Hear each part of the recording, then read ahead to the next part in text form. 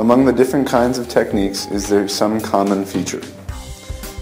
Meditation experts will tell you that there are actually hundreds of ways to meditate, including sitting practices, Tai Chi, Qigong, walking meditation, yoga, dancing meditation. Yet these methods all share one very clear trait or feature, that of witnessing. In fact, some meditation experts say that only the witnessing portion of the experience matters. Why? It is because witnessing also means that you have discovered your inner mirror.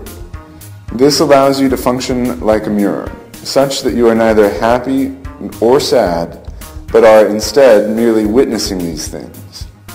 Thus, like a mirror, things will come and go. Yet, just like the mirror itself, you are unchanged by these reflections. What we are saying is that your meditation techniques are going to show you that you do not meditate just for a fixed period each day, but in every moment, before and after, as you increase your ability to witness the present. The path that you follow in your meditation should eventually lead you to experience witnessing. Here's a nice illustration of what this means.